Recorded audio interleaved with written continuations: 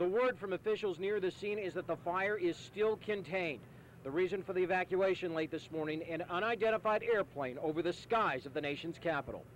Since they didn't know what that aircraft was, that they're going to evacuate that place. Once they identified that it was a friendly craft, then everybody went back to work.